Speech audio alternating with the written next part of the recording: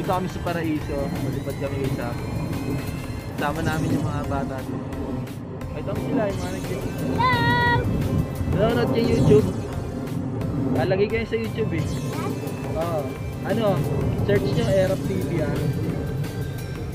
So, Rico-Rico lang si Sak. Bayaan lang mo ng lumabas. Bayaan siya umikot.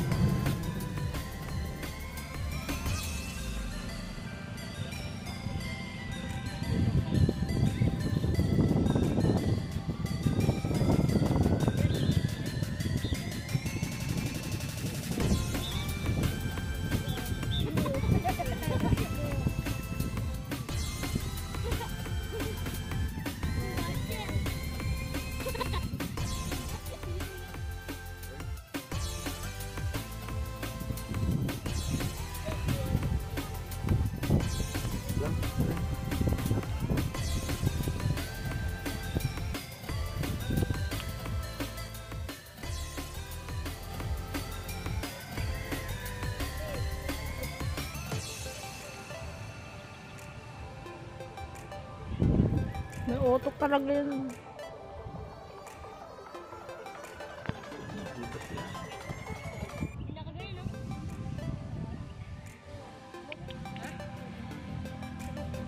Tsura mo.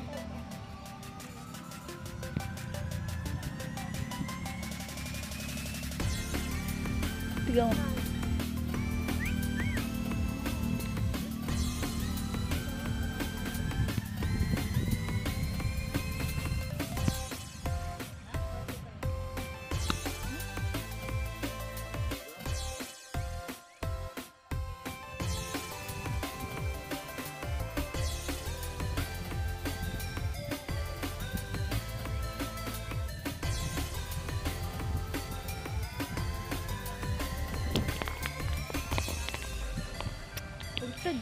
um, baliw eh.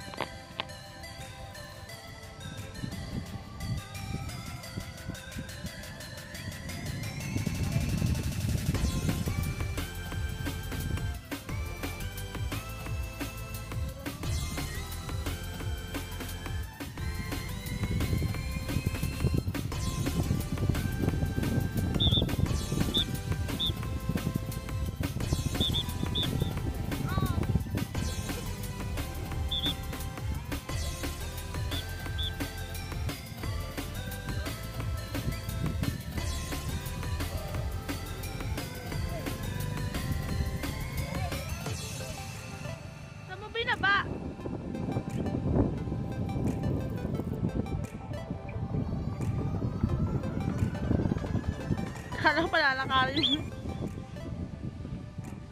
Kaya nga. Jack. Jack.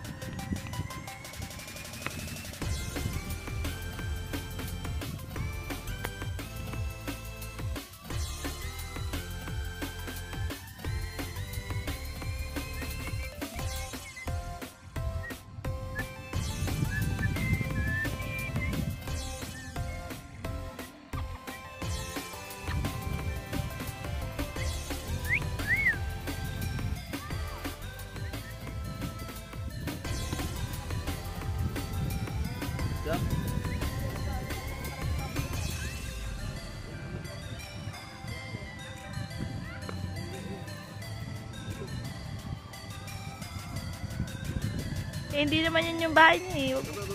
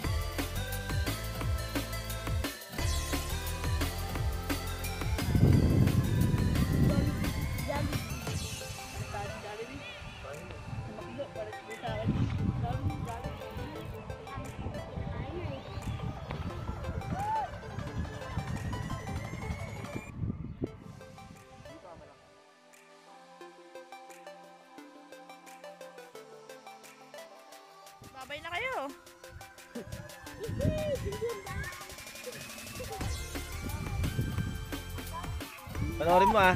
Panoorin mo. Baka bukas. Hmm. Tapos na tayo sa ating maikling pagpapalipad. Kasi, anong oras na eh? Late na rin yung tayo dumating dito. Time check tayo. Oras na. Ano mga?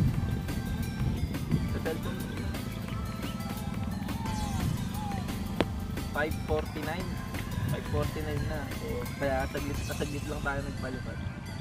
Medyo alanganing oras na to eh. Ganitong oras lumalabas yung mga uwak. Lalo na dito. Dati eh, sobrang daming dumadang uwak dito ganitong oras. Hindi na tayo. Tuloy natin yung bibit sa bahay. Konting banding lang. At baka may matutunang al sa akin. Baka lang naman makatulong ako sa inyo. Peace mo. What's up mga tol? Is me. Meron TV again and again. So, kanina, ah, 2,000 years later. So, kanina lang yan. Nasa paraiso tayo. Ah, nagpalipad tayo doon. Pero saglit lang, siguro mga limang recall lang, tapos mga tatlong ikot, mga ganun lang. Kasi late na, ano oras na eh. Nag-time check ako noon, mga 5.46, ewan, basta ganun ata.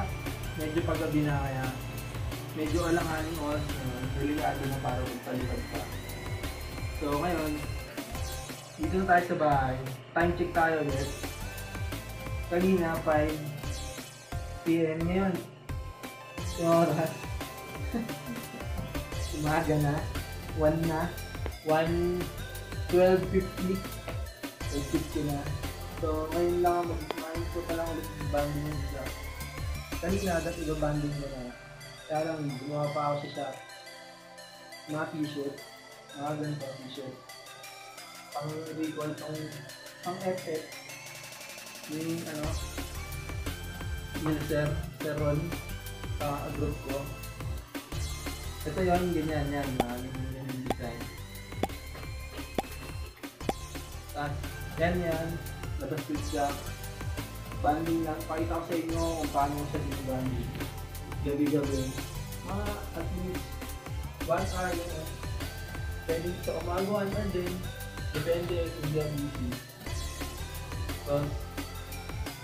Sa mga ganitong oras, pero ganito na yung pinaka-late.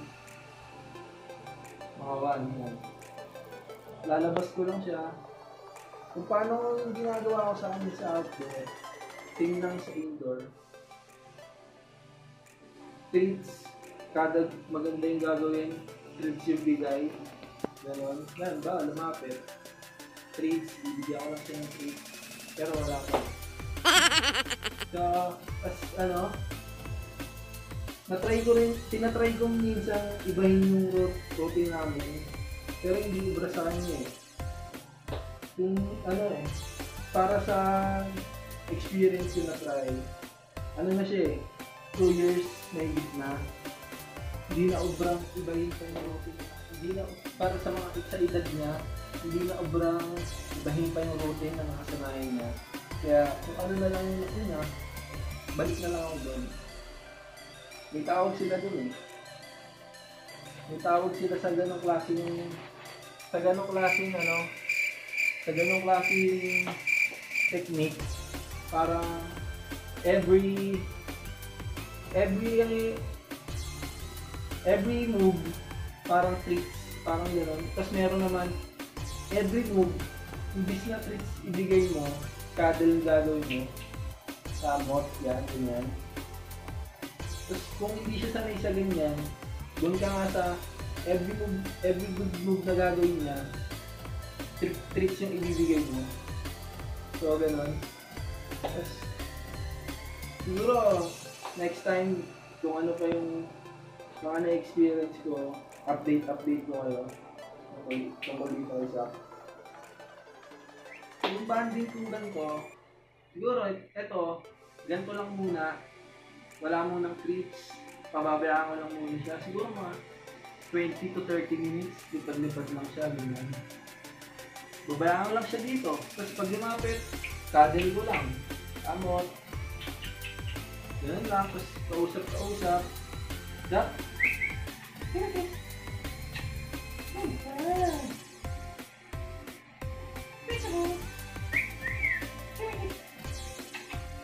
mga ganyan-ganyan lang.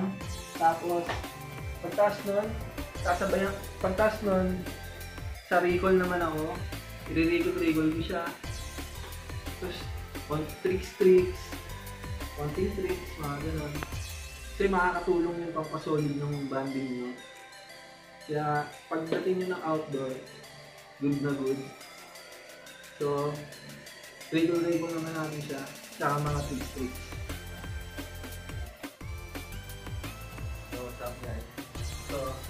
sa recall-recall na tayo.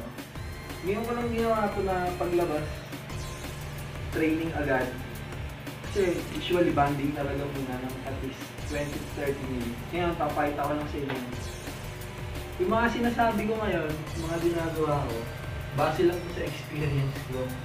Yung dati nagtanong-tanong din ako sa mga ex, sa mga kita kong magagaling yung earn nila. Pero hindi ko siya ma-apply sa akin.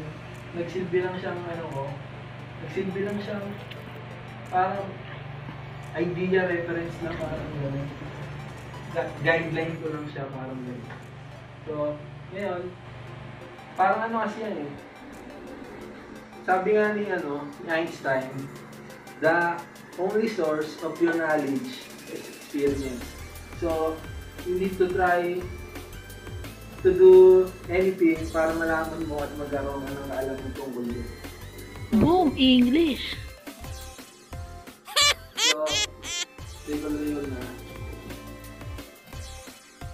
Ang pinang si-treats ko sa kanya, si sunflower, yung ganito. Ganyan. Tapos, minsan ito na rin yung diet niya. To. Yan, ganyan, minsan ganyan na rin yung diet niya. Tapos, minsan gulay, prutas, tapos, yung binabad na Habibis Super Conditioner. Ito yung ganito. Yan. Binababad to at least mga 15 hours. So, mga ganun. Tapos drain. Tapos papakain sa kanya. Yan. So, try na natin siya. I-recall-recall. Everyday training, banding, training, ganun lang lagi. Sa gabi, at least mga 1 hour. Kahit umaga din, minsan. Minsan umaga lang, minsan gabi lang. Pero min minsan, umaga at gabi din. So, yan. It's Fly. Good bird. So, yung mga mga ganitong training, sobrang makakasolid ko na na ano nyo sa out, sa outdoor. Makakasolid siya ng banding mo kahit nasa outdoor indoor. Same lang. Walang pinagkaiba. Kaya okay siya gawin. Ano lang ito ah, hindi ako nagmamagaling. Sinasabi lang yung mga na mga na nasubukan ko, mga na-try ko. Kasi nagtanong-tanong lang din ako kina Sir Ron, ay, nawala pala ako kay Sir Ron Magren. Pero isa nagtanong din ako sa kanya, kay Sir Jan, kay Sir Leo, kay Sir Per, ng mga zero gravity. Si Sir Leo, siya yung parang founder namin ng CD. Tingala na siya, wala na siya, maaga siyang inuwa. Hindi naman maaga, umaga inuwa na siya. Nag-fly high na rin siya. Rest in peace, sir. So, ito na. Dito na tayo. Focus na tayo. Fly! Good bird. With, napapa-play ko siya ng boomerang ng walang walang hagis. So, natsambahan ko lang din. Hindi ko tinuro na practice lang. Sa, fly. Fly. Fly. So, ayaw niya. Napahiya ako doon. Streets, streets. Up. Every good move. Streets. Nag-up siya. So, streets ka lang. Fly. Fly. Good bird. So, streets ulit. Same lang, ganun lang. Minsan, ilipat naman ako doon. Dito naman siya pupunta.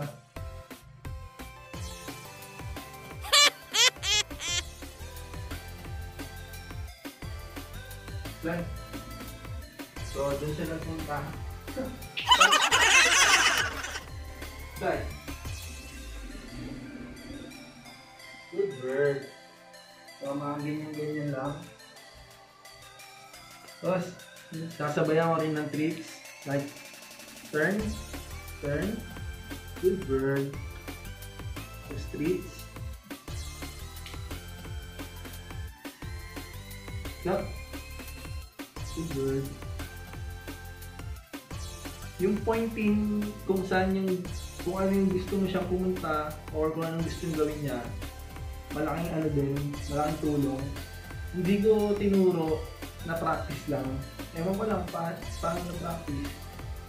Yan, up, kabila, higa, higa, higa. So yung higa din, na practice din niya. Higa. Good girl. Higa ng ganyan.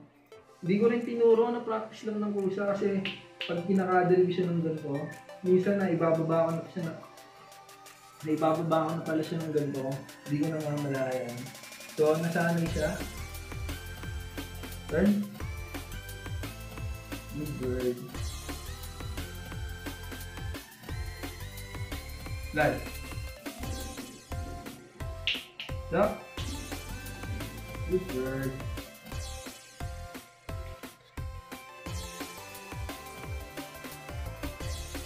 So, kung pag tingin mo, okay na yung mga response niya, medyo pagod na, pahinga na ulit, pahinga, bukas ulit. So, pasok. So ngayon, ang iaano naman natin, yung pagpasok niya ng cage, kasi kusa na rin siyang pumapasok, na hindi ko din tinuro, kusa ko lang, nakita ko lang bigla na, nung tapos na akong nagpakain, bigla na lang siyang pumasok. Hindi ko sinasarado, hindi din siya lumalabas. Siguro, okay din okay na din sa kanya yung nakasanayan niya. So, papasukin natin. Sa pagpasok, same lang din. Pagpasok, treats, din. Okay na. So, ganun.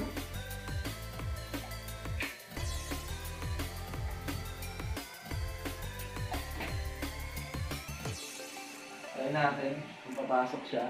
Sana hindi naman ako ipahiya.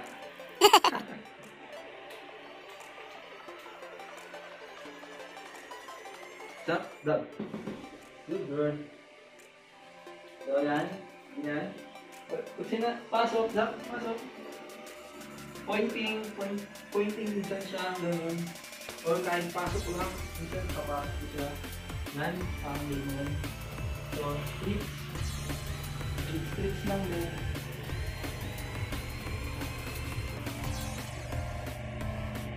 Yan. So, yun na. Sa loob na siya.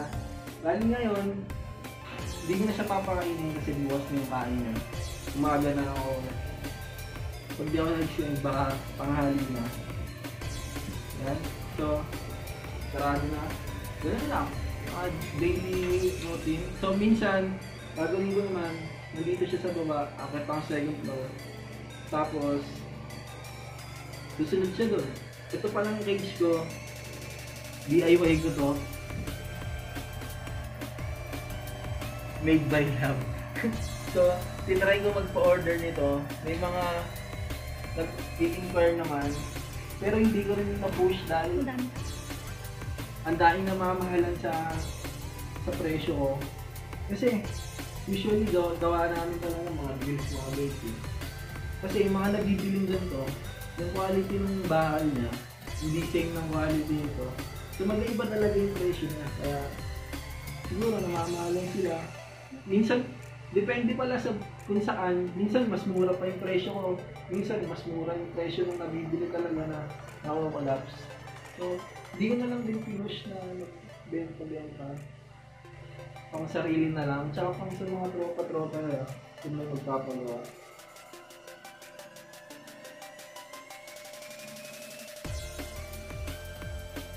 So, yan lang yung basic info sa mga naka-ring neck, Indian ring neck, sa mga mag-treat light. Sinerte lang din ako isa. Kasi, wala naman akong special na ginawa sa kanya nung before ako nag-i-ibon. Kakatil lang ako dati. Kung ano lang naman yung kung ano lang naman yung inano ko doon, ginawa ko doon, same lang din naman yung tinuro ko sa kanya. Kaya, swerte lang din ako sa kanya kasi hindi matigas yung ulo. Unlike sa iba na matigas yung ulo, kailangan i-training talaga. Solid, solid yung bandi. Ako medyo sinerte ako. Kahit nakapabayaan ko to, solid eh. Minsan nakapabayaan. So, yun na. Maraming salamat sa inyong panonood. At dahil nakaabot ka naman dito hanggang dulo, mag-like ka na, subscribe, share mo na din. Peace.